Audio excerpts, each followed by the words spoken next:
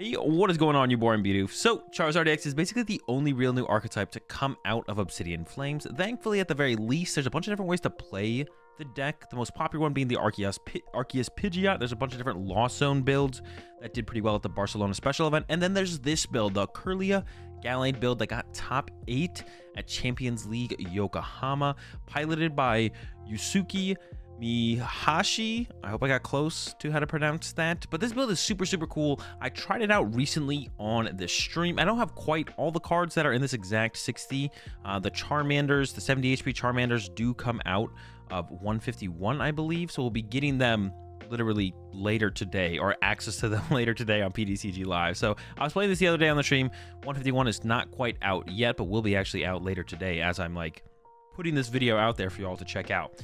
Uh, and this build was super cool. I really, really enjoyed this build. There's a couple things I'm a little bit skeptical about at first, but I just took it for what it was, took the exact 60 and played around with it. The things that I was like a little bit like, is this going to work out? Am I going to need more of this, less of this, whatever it might be, uh, was only three Charmander. But to be honest, Charizard, uh, one Charizard in itself is such a huge threat and so hard to deal with you don't really need four Charmander, to be honest. Like, you get one Candy Charizard out there with a Charmander on your bench, and if they do deal with that Charizard EX, you have that backup Charmander to become a Charmeleon into a Charizard, or to be rare, rare Candy into a new Charizard. And the other thing was maybe a fourth Kirlia, but once again, as I played with the deck a little bit more, definitely did not feel a need for a fourth Kirlia either. So Charizard EX, of course, is the main and pretty much only attacker in this deck. We'll talk about that reversal energy here in just a second, though. But then the draw support line, or the support line in this deck, is the question for Charizard. What do you play as the support Pokemon in the deck? Like I said, there's the Arceus and, Arceus and Pidgeot. There's the Lost builds that use Comfey and Colress, and sometimes are, have the ability to attack with like the Greninja and Sableye in there. Uh, and then there's this build that has Kirlia with Refinement, which is of course a great draw support Pokemon, with the Gallade with the Buddy Catch ability that allows you to search your deck for a supporter card once during your turn. And to be honest, this acts very similarly to the Pidgeot in this build the way Pidgeot acts in the Pidgeot build because generally most of the time you're using that quick search from the Pidgeot to go find a boss's orders or an Iono. Not all the time, but it felt like a lot of the time that's what you're going to look for. And of course, we have the support of the Mew with the Mysterious Tail in here as well. And it is amplified a little bit in this build compared to some of the other builds because there is jet energy in here, four jet energy. So turn one, a little bit easier to get the Mew into the active and potentially even use two Mew on the first turn. Bench one, jet it up into the active and then retreat it into a separate Mew to go help search for, I don't know, Battle VIP Pass or Ultra Ball or a Candy or whatever it might be. And later in the game, as it progresses, we've got a Charizard EX in our active, but we want to find an item card for the turn or just like utilize our resources a little bit more efficiently. We can jet a Mew up into the active, use the Mysterious Tail, and then retreat it back into the Charizard and attack for turn. So that's been really cool and really smooth so far. Also, the jet energy in here not only allows us to consistently use the Mysterious Tail throughout a game, but it's also our switch and like pivot cards in the deck because the Kirlia's got two retreat costs, the Gallade has two retreat costs, even something like the Manaphy or the Mew itself having the one retreat cost, we need ways to move those sometimes as well. So the jet fills that role very, very well. It's effectively a switch card and also allows us to aggressively use the mysterious tail. So it's really, really smooth, and yeah, it just works out really, really well. So this build has felt insanely. It's actually the best any of the Charizard builds that I played with have felt so far. This has felt the best of all the Charizard builds that I played with so far. Has been this build with the Gallade, which really surprised me. I thought it would feel okay as far as the Charizard deck goes, but it definitely has felt the best out of all of them that I've played with so far. I'm not really a big fan of the Arceus Arceus Pidgeot build. That one I'm definitely not a big fan of. The Lost Zone stuff is okay. But Lost Zone feels really fluky when you have a stage two with rare candies in there. But yeah, this Kirlia, Mew, Gallade build has felt the smoothest of all of them. Of course, your options are very limited with this build. The only attacker we really have in here is the Charizard, except for the one of Reversal Energy, which does allow us to attack with the Gallade with that Swirling Slice attack 160, and then we move an energy from this Pokemon to one of our bench Pokemon for Psychic Colorless Colorless. So the one of Reversal Energy does allow us to attack with Gallade. To be honest, I haven't attacked with the Gallade yet, but I have used the Slap on a Kirlia to actually KO a Shiny Arcana Gardevoir that one it KO'd one of my Charizard EXs. So I've used Slap more than I've used Swirling Slice, but the potential is definitely there for the Gallade. I've just ended up using Slap more than I've used Swords. I haven't played that many games with this deck. For the rest of the deck, it's pretty straightforward. Nothing too crazy. Um, for Iono, of course, you see that in most Charizard decks that aren't Lost Zone builds. Couple research, just want to make sure we find a draw supporter early and often. Boss's Orders, of course, like I said, very important card. It feels like with Charizard decks in general, usually, because we're not 1K when they're active early on, as much as we would like. We got to be bossing and KOing something else until we get to the point where our opponents drawing enough prize cards that we are want to KO in their active Pokemon. So two boss in here alongside a Pal Pad as well so we can gain more bosses. Honestly, after playing with this list though, I think the deck should just play probably three boss or four boss because sometimes you can't quite get to the pal pad and you're out of boss in the deck because maybe one's prized or you played a research early and you use the boss you're out of boss there's nothing to buddy catch for anymore and you really want to boss that turn as opposed to punching their active. So i could definitely see just actually cutting the pal pad straight up for another boss. I never felt like i wanted more than four iono. You definitely want three to four boss it almost feels like in some games. That's only if you have like an unfortunate ultra ball or research though so i could definitely see cutting the pal pad for a third boss and then actually maybe cutting another card in here for a fourth boss. Forward Candy, of course. We got our Charizard deck, four Battle VIP Pass, four Level Ball, and three Ultra Ball for our Pokemon Search. One Heavy Ball in here. The Heavy Ball, honestly, maybe just should be a fourth Charmander. Prizing a Ralt isn't a big deal. Prizing a Manaphy can be a big deal. And prizing the second Mew can also feel a little bit unfortunate at times. But I've definitely had a couple games where I prized the third Charmander. And I was able to find my Heavy Ball or a Super Rod before I was uh, kind of locked out of Charizards in play. So it never really came up where I actually got locked out of Charizards in play. So maybe the flexibility of the heavy ball is a little bit better, but I could see the heavy ball just becoming a four Charmander to make that a little bit smoother overall. Two Super Rod, definitely need to play two Super Rod. I've seen some Charizard lists with one Super Rod. I think those are fine probably, but in this build specifically, we're so heavily reliant on Charizard uh, as our main attacker. Finding Super Rod super important. And uh, yeah, it's like our only attacker on the deck. One lost vacuum. We do need a decent amount of stadium bumps to get around Path to the Peak. We do have two Artisan in here. Helps us in the early game find more of our basic Pokemon more consistently. This deck is really consistent at setting up basic Pokemon turn one. From there, things can feel a little fragile, but after we set up that first Charizard, we usually cook them for the rest of the game and then just need to chain our Charizards from there. But it's nice to have an item out to bumping Path to the Peak. That way we can use the Mysterious Tail on the Mew to find Vacuum, Vacuum bumps Path to the Peak. We candy our Charizard in play. We use our, what is it called? Infernal Rain. Get our energy in play, and then we're attacking for turn with our Charizard. So the Vacuum is sick. I would maybe even consider including a second Lost Vacuum if Path to, Path to the Peak got popular enough in a build like this. And then for the energy count, six fire energy. This has felt like almost not enough, so I don't think I'd ever go down to five fire energy. Six feels like it's probably perfect, but you wouldn't mind a seventh is how it's felt so far. So is how it's felt so far. So I wouldn't go to less than five unless you like went to five for a third super rod. I could see that being reasonable. Um, but yeah, six has felt very, very solid. And then the Forge energy, like I explained earlier, allows us to aggressively use Mysterious Tail but then also make sure none of our Kirlia or Gallade or anything like that gets stuck in the active. It's our switch card as well as our pivot card for the Mew. It just it just works. It looks a little weird, um, and it does play out a little funky sometimes, but it just it just does kind of work because it does like it acting as like our switch card plus our way to get and utilize Mew into the active. It just yeah I don't know it just works. But anyways, like I said, this Charizard build is super sick. Definitely has felt the best out of all the Charizard EX decks I have played with so far. And with that said, let's go let's get some action, get some gameplay, so you all can learn how to play this deck along with me. Let's get into it. Up, if we set up, we win, right? It's like a setup and win matchup for sure. I think this deck should maybe play another boss instead of a pal pad, to be honest. I don't know if we really need more than three boss ever. Um, I think we do want access to three boss, but I don't know if we ever need more than three. So I think instead of the pal pad, it maybe should just play another boss. I never really want to recover researcher I don't know. All right. What do we prize? Charmander. Kirlia, Kirlia, Mew, Charmander. Charmeleon. Prizazard. 4 1. Prize of Research. 2 Boss. Prize of Level Ball. Prize 1 Rare Candy. Prize of Level Ball. Ultra Ball. Those are there. 4 Energy there. 2 in hand. Did I mess something up there? Oh, I don't think so. Okay. We have Candy Zard already in hand. but I only want a Candy Zard when I can get a knockout. I'm really hoping for a Battle VIP pass here. And do I... Oh, that's tough. Do I go get another Charmander? Or do I keep this around for a Kirlia draw power? Man, I don't know. I'm gonna pass. If they take a KO here, we're still in a fine spot, so... Like if they go boss KO Charmander, as long as I can get down double Charmander next turn, it's not terrible. I don't like it, but yeah, it'll be like okay. Then we can go like Super Rod. yeah, we can go like ooh, the Path to the Peak. Sheesh. Okay, well, I'm definitely happy I played it this well.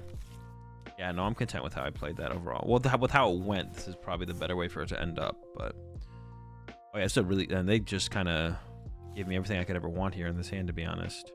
Curly, Curly, set up Charmander, Curly, Curly, Iono. I mean, I guess the only other thing I'd want would be like Artisan. Like if the boss was an Artisan, that'd be a little bit better. But can't complain with this draw, to be honest. We top deck. Candy. I think I just play the Iono here.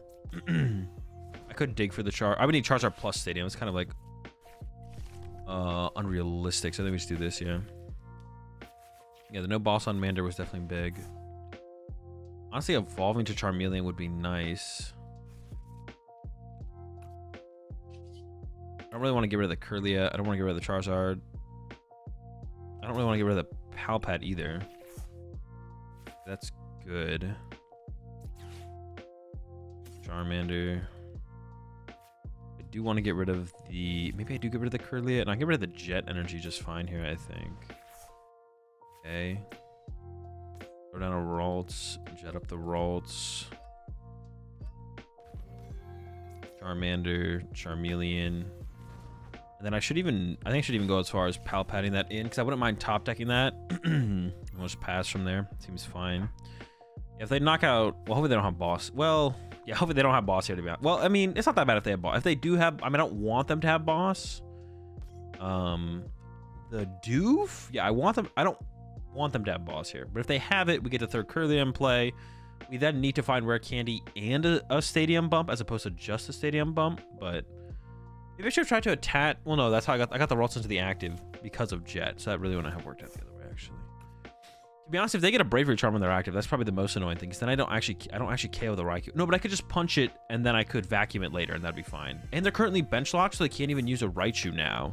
They probably shouldn't have benched the Raikou or the Miraidon. I don't probably, I actually don't know which one should have been benched, but now they don't have a threat of Miraidon next turn, or they don't have a threat of Raichu next turn.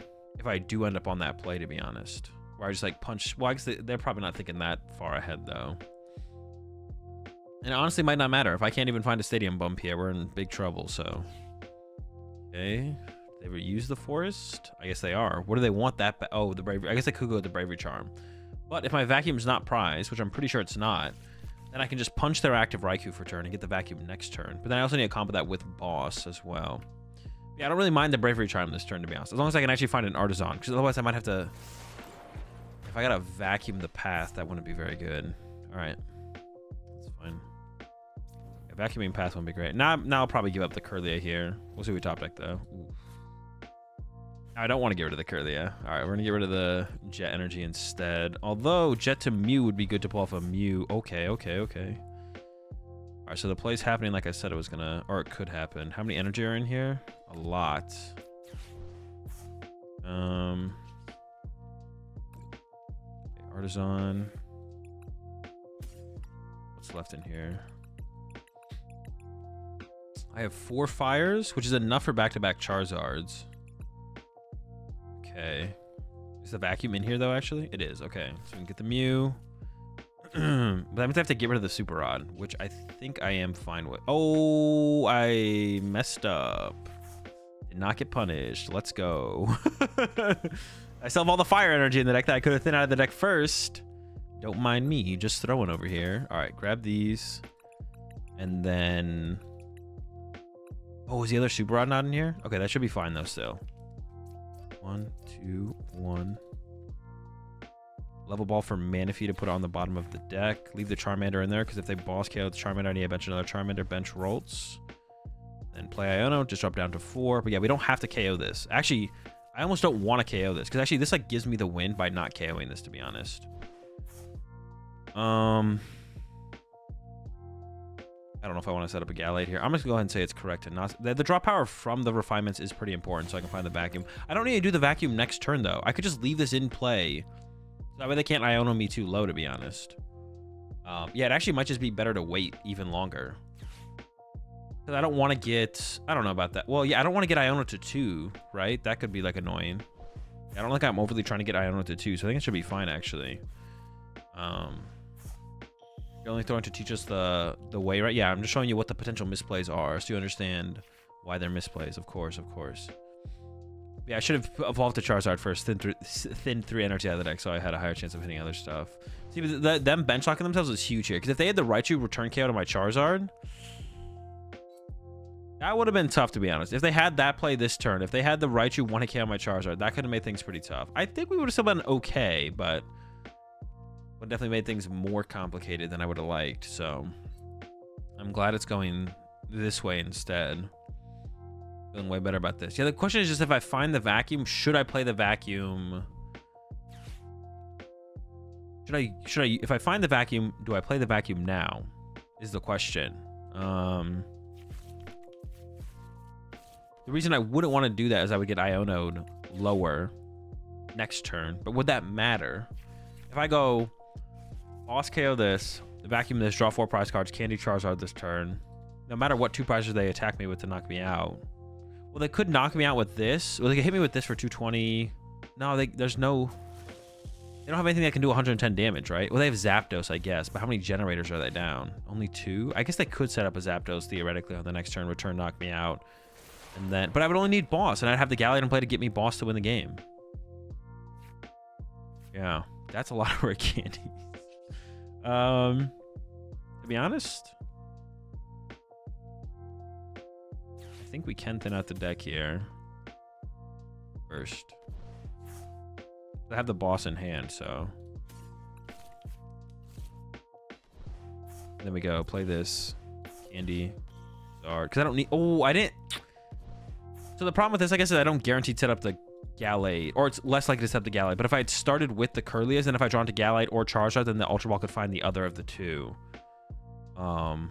Hmm. Okay. Okay. I'm always playing the boss. Research could matter. Reversal energy could also matter. I also, to be honest, I didn't have to candy... I didn't have to candy out the Zard, though, either. I could have just left my board at only... I think I'm trolling in this one again, to be honest. Definitely do this. But yeah, because what if I just don't... I don't have to candy the right now. If I don't candy Zard here, then I only have one project in play. So after they KO this, they have to go through a one project. So that could have bought me plus one turn to play the game. Yeah, that's probably trolling. You appreciate the 22 months there.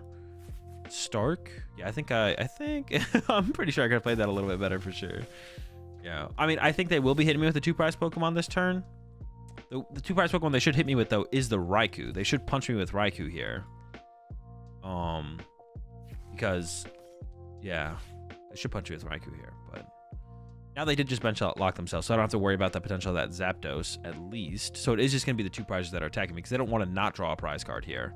But now, once again, though, actually, if I don't take a knockout, they don't have room for Raichu on their bench anymore, and then I get plus one more turn to play the game. So now they kind of have thrown uh, again themselves, actually, by bench locking themselves. th with no more threat of Raichu, I still have that extra turn to play the game here.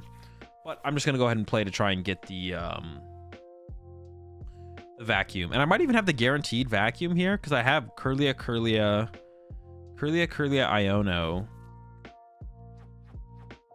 That's going to see me, what, eight cards, nine, ten with the other one I'm drawing for turn. That almost guarantees it. I could send up the Mew, but I would just wait to like draw into the Jet potentially. And I do have one Jet left.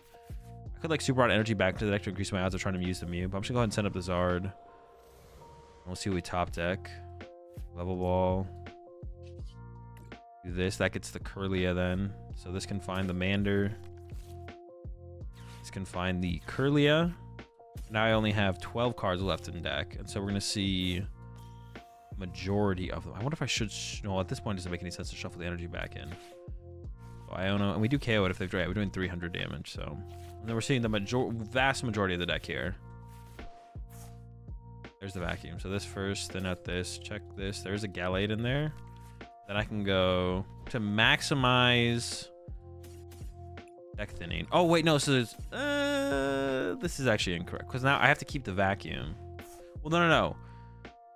Would I want to use a Kirlia? Wait, no, no, no. I have game in hand already. What the heck am I doing? I thought I had to go further than that. I was like, I need more. I need more than the vacuum. I just need the vacuum. I just need the vacuum. Yeah, for some reason, I thought I needed more than that. I don't know why I thought I needed more than that. Yeah, never needed any more than that. I was like, I need a little more though. That's going to be the big question is, do they play? Yeah, looks like Lugia. They also have Lumineon in play, which will be an easy first two prize cards for us to chase if we want to.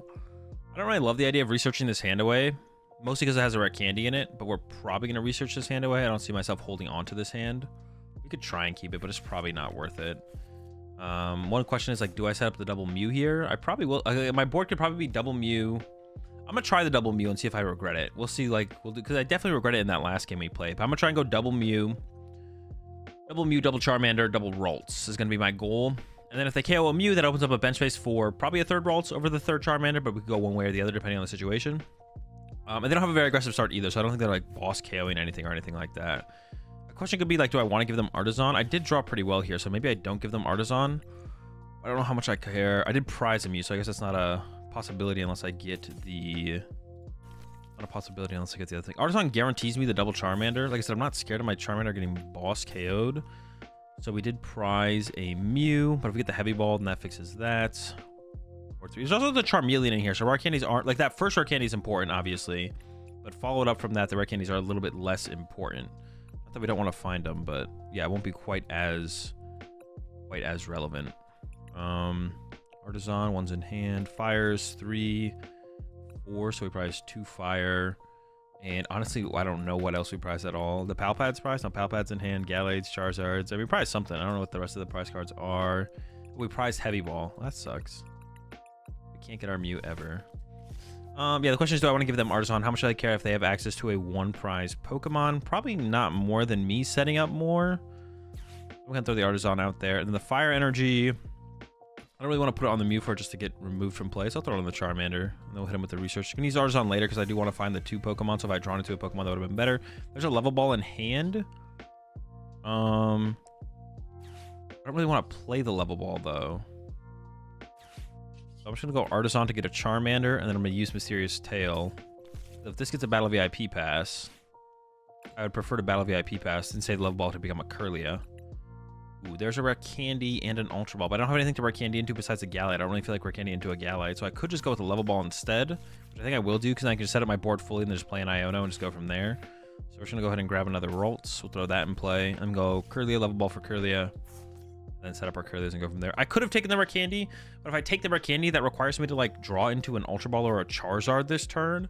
And I would rather just like play out my whole hand and then play the Iono and then draw into the candy combo. I feel like because if I have one, because like it feels like then you're like I don't know, maybe the stats might work out. It might statistically work out better to have taken the candy there, and then just draw as much as I can.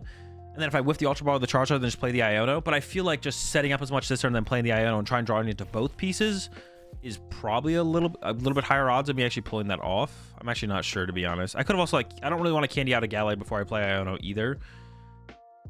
Because like candy out a Zard here initially is like too important to do that, I think. Mm, it is the colorless build. I wonder how much like that matters in this matchup. It probably doesn't matter too much to be honest, because we still just scale up better into the late game than them. Um, so if I have to go KO Snorlax this turn, I don't think I'm like too stressed about that. Um, but they might be going read the wind here which is definitely pretty good for me if they're going to read the wind here. I'm down for some read the wind action. We'll see what they got. Yep, it's read the wind. Okay. So we'll just go, yeah, Kirlia, level ball for Kirlia. Box of Disaster. Okay.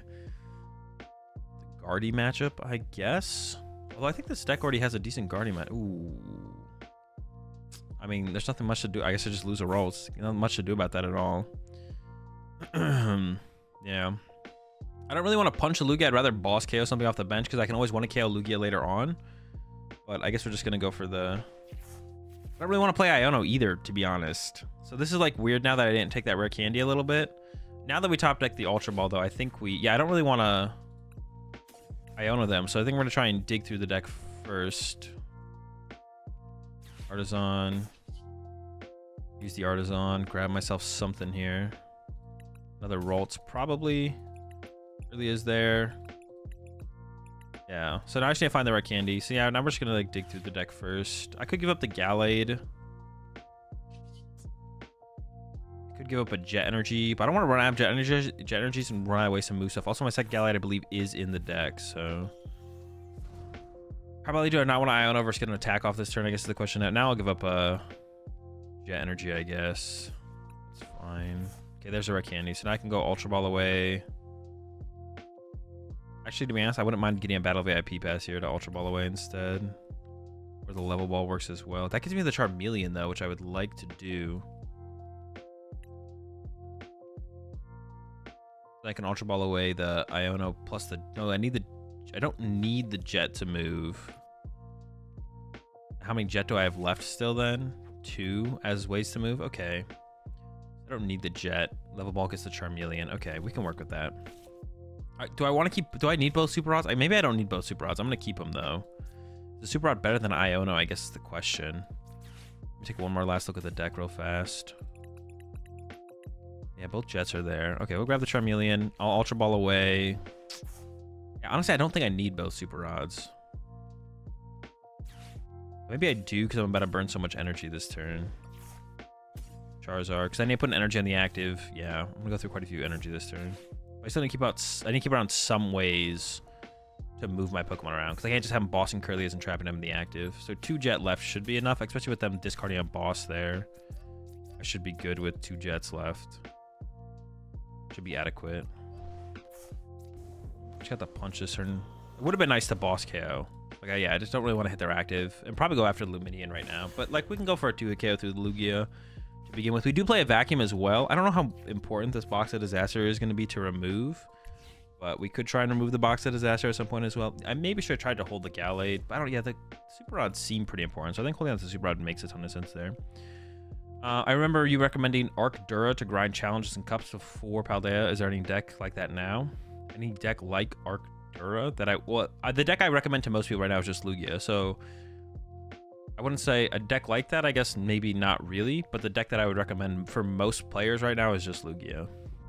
You can just go copy uh, Andrew Hedrick's list, and if there's like a lot of like a like a an abnormal amount of paths to the peak locally, you can just add like a second collapse stadium in for something. Um, looks like they're maybe not cooking very well here. They do need to retreat this Lugia. They can't leave it in the active unless they mention the Lugia, so... But they have the research. Have the choice band on the Charizard. So I bossing Charizard. So I, there's a couple things I want to do here. I want to... Uh, I actually don't. We could, KO in the active isn't like that important. If I can still KO it later at some point.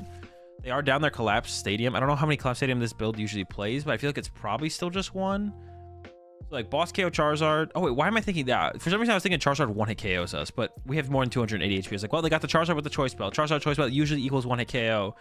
But in this situation, um, in this situation, I don't care about do, I don't care about 280 damage. So Boss KO Charizard is not like a huge concern, although it is a very efficient attack for them. Boss Archeops is kind of cool though. KOing their active is also kind of cool. Like I could just KO their active, that's probably fine. Um, they also have the Lumineon on the bench that I can try and go after for like my last two prize cards potentially. Or I could even go for it a little bit earlier in that as well, to be honest. But taking this, yeah, taking this first initial knockout on the active is probably going to be correct. And then, yeah, I might not have to boss anything ever, to be honest. Boss KO Archeops is like tempting. But I should honestly just like probably KO the active and then boss KO Lumineon as soon as I can before it like gets collapsed potentially. I don't know if they actually play a second collapse, but it like wouldn't be a surprise if they did. So I would like to play around it before it potentially happens. Um, so that's probably just going to be the game plan here. They should probably actually maybe they leave the stadium in play because I can't abuse it this turn, and they might want it around for one more turn to grab like another Snorlax out of the deck or something. We'll see what they do. All right, that's fine with me. Uh, I could keep... No, let's get rid of it. I should play the Iono. I do want to see some new cards. Yeah, I want some new options. I'm down with it. We actually don't have that many cards left in our deck already, to be honest. It's only 20 cards left. That's kind of crazy. Um, is there an energy left? The fire? There's no fire energy left in my deck. I want to save the... I want to use the rod after. Okay. in a pretty good spot here, I feel like. I don't really want to evolve this to it, the this Charizard yet. I do need to shuffle the deck though. Not really. I could actually dig down and then you would be able to find the Super Rod. So I think we're just chilling. And then Burning Darkness. The knockout. I think this is fine. Take this knockout. We have the vacuum. I could have played the vacuum maybe. Vacuumed away research and got, actually got rid of that. But maybe I'll wait. Well, I could have done that right now, to be honest. I think doing that right now is probably not a huge deal. I guess the question would just be, do they play multiple boxes of disaster? I doubt they play multiple boxes of disaster, but I guess they could. Yeah, they could play multiple boxes of disaster. And if they do that, vacuuming it right now wouldn't have made too big of a difference if they get the other one. Or if I know they have multiple, I wouldn't want to vacuum it yet. Yeah, going to this next round, I think it is just going to be vacuum the box, boss KO, and then I should just win the prize trade. Because even if they set up like a Wyrdeer on the following turn and want to KO me, then I just respond with another Charizard and I win. The only thing that might be annoying this turn, well, getting Ionode here would be could be annoying for sure. Getting Ionode would be annoying, and then yeah, getting Ionode would be annoying. If I say uh, my Charizard, well, my Charizard could get one. Well, if I KO their Snorlax, my Charizard's not getting one KO'd because I don't think they would have enough energy to actually want to KO me even with a Wyrdeer. So if I just KO the active, Wyrdeer's not want to KO me. I don't think. Well, sometimes you do be swinging. But ideally, we just get a Charizard and a Charmander down next turn, so we're not really afraid of anything. So the goal next turn is find Super Rod, get down Charizard, get down Charmander, vacuum, boss KO, Lumineon. If they respond with a Wyrdeer KO, because at that point I'm not KOing their strong, so I'm not removing ARG for play, uh, then we just win because we just go another Charizard after that, and the game's just over. Um, why wouldn't I evolve to the Charmeleon? Because I have no energy in deck. So I want to be able to get the Super Rod first, then evolve to pull the energy out that I can guarantee my attachment.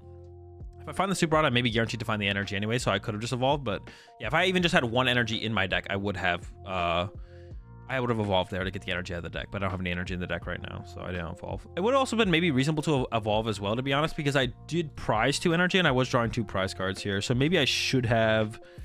Um, oh, my reversal energy was prized. I maybe should have just gone ahead and evolved anyways, because I was drawing two prize cards and there was two fire energy prized. But if but if I can get Iono, that's what I'm kind of like playing around more so than anything. Because if I don't get Iono this turn, I don't really care. Um, are they actually going for the Wyrdeer? Dude, what? So many Box of Disaster. oh, shoot. Okay, this is... Oh, that's a lot of stuff that just happened, to be honest. Okay. Um... All right. All right, so we're guaranteed to find the Super If I just use Mew, we guaranteed to see the Super. And I have the boss in hand. But my my vacuum, not my box of disaster, my vacuum to get rid of the box of disaster is on the bottom of the deck.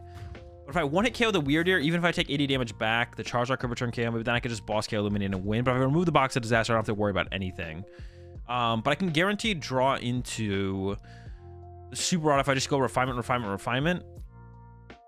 And then I could use this afterwards to try and find the vacuum. I guess that's probably the better play of the two, to be honest. Then go refinement, refinement, refinement.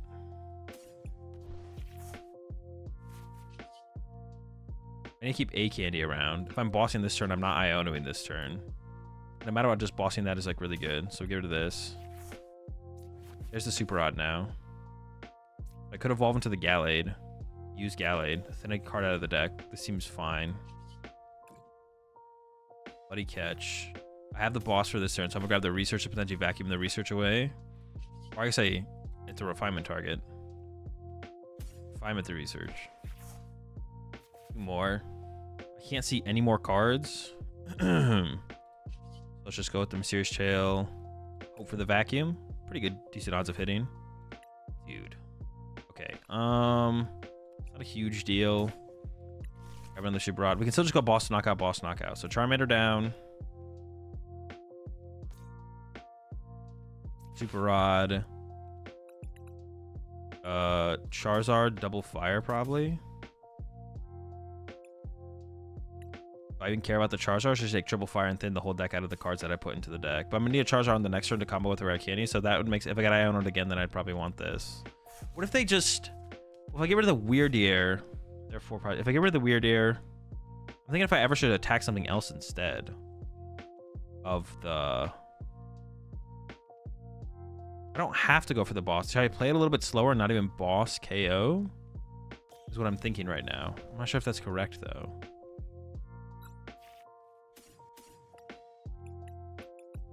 Not getting the vacuum there just feels really bad because that makes my play super simple, I feel like. Maybe my play's not as complicated as I think, though, still.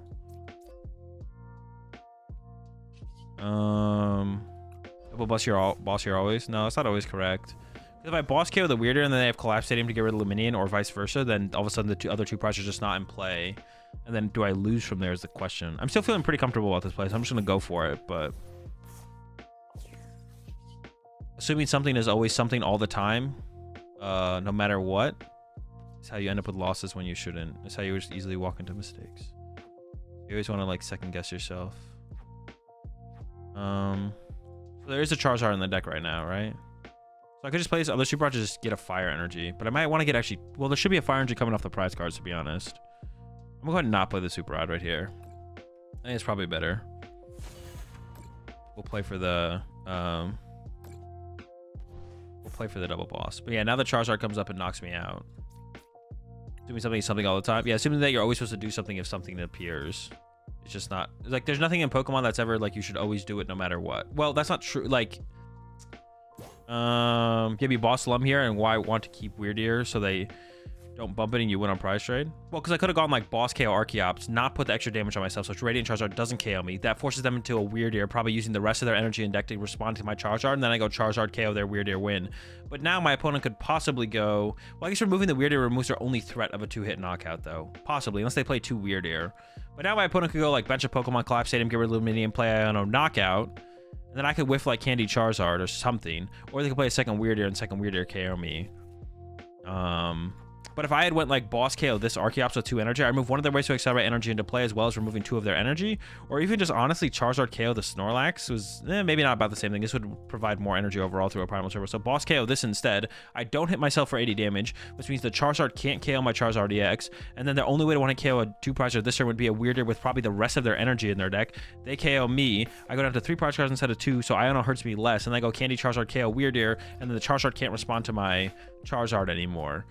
But now if they collapse Stadium this way, I don't know, it just feels a little bit more awkward this way. But it probably doesn't matter overall, to be honest. It probably doesn't matter overall. It's probably this about the same thing. It's probably about the same thing. I think this is still probably a fine line to take. They probably don't play too weird here. They probably don't play too weird here. That's what I was the only thing I was thinking about. But and if they do collapse away the Lumineon, that's probably not a big deal either. Um, but yeah, I guess we just win. I don't think we we lose anymore here. That's game. But I did pause to think about it. Yeah, but just because you have access to Boston C two two prizes in play doesn't mean like you just don't. The idea behind like you just make just don't tunnel vision, just don't tunnel vision. Basically, yeah, just don't tunnel vision.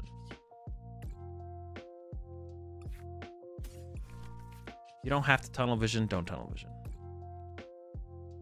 Stopping and thinking for a second can be like a big difference between like winning or losing a game. So.